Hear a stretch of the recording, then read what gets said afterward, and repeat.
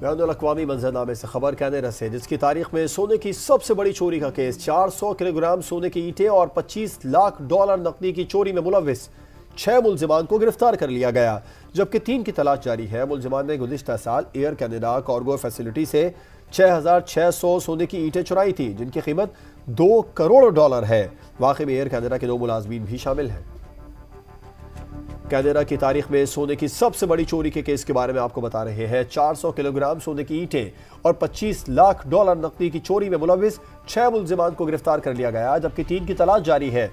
मुलजिमान ने गुजशत साल एयर कैनेडा कार्गो फैसिलिटी से 6,600 सोने की ईटें चुराई थी। की चोरी में मुलविस छह मुलजमान को गिरफ़्तार कर लिया गया जबकि तीन की तलाश जारी है। मुलजमान ने गुजशत साल एयर कैनेडा कार्गो फैसिलिटी से 6,600 सोने की ईटें चुराई थी जिनकी कीमत दो करोड़ डॉलर है। वाकई में एयर कैनेडा के दो मुलाजमीन भी शामिल हैं।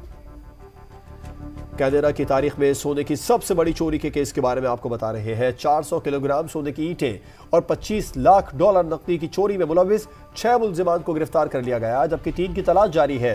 मुलजमान ने गुजशत साल एयर कैनेडा कार्गो फैसिलिटी से 6,600 सोने की ईटें चुराई थी। की चोरी में मुलविस छह मुलजमान को गिरफ़्तार कर लिया गया जबकि तीन की तलाश जारी है। मुलजमान ने गुजशत साल एयर कैनेडा कार्गो फैसिलिटी से 6,600 सोने की ईटें चुराई थी जिनकी कीमत दो करोड़ डॉलर है। वाकई में एयर कैनेडा के दो मुलाजमीन भी शामिल हैं। कैनेडा की तारीख में सोने की सबसे बड़ी चोरी के केस के बारे में आपको बता रहे हैं। 400 किलोग्राम सोने की ईटें और 25 लाख डॉलर नकदी की चोरी में मुलविस छह मुलजमान को गिरफ़्तार कर लिया गया जबकि तीन की तलाश जारी है।